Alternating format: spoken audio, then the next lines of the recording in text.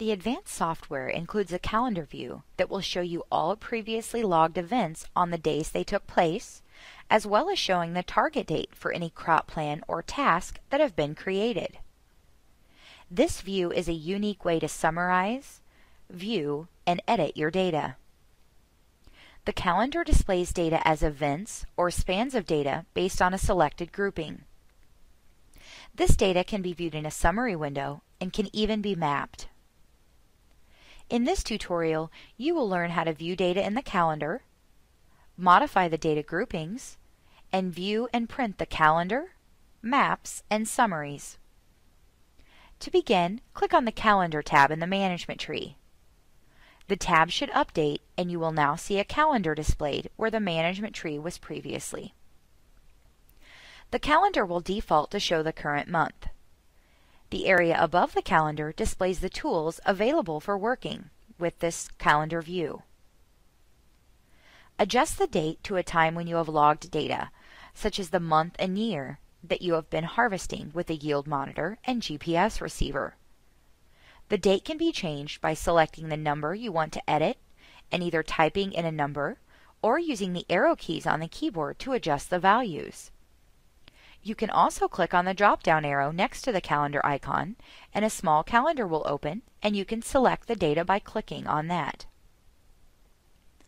After adjusting the date, the calendar will update and each day that a task was recorded will contain a gray box named according to the year, product, and operation that it represents.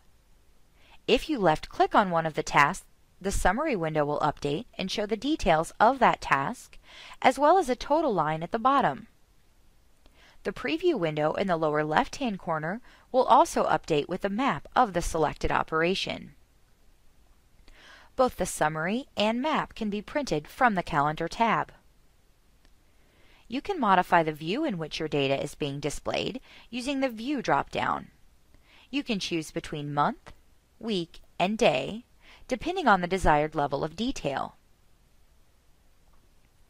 The calendar data grouping will allow you to make modifications to how the data is being grouped in the calendar. By default, it is grouped by product and operation, but if you click on the Adjust Data Grouping button, you can modify this. There are two tabs available in the Select Calendar Data Grouping window. The Select Management Items and Properties tab will allow you to modify how the calendar will group the data it displays.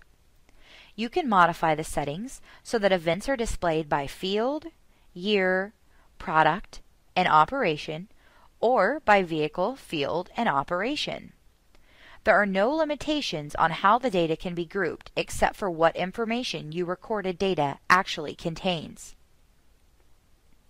The Select Date Grouping tab will allow you to choose if the data is grouped in spans and what day of the week the grouping should start on. The last tool available in the Calendar tab is the Data Filter tool. After clicking on this tool, the Select Data Filters dialog will open and you can limit the data that you are viewing by selecting only the management items you wish to see. To unfilter the calendar, return to the Filter tool and set the management filters back to all. You have now learned how to view the data in the Calendar tab, modify the calendar settings, and review summaries and maps of the data. Please review the other tutorials to learn how to utilize other key features of the software.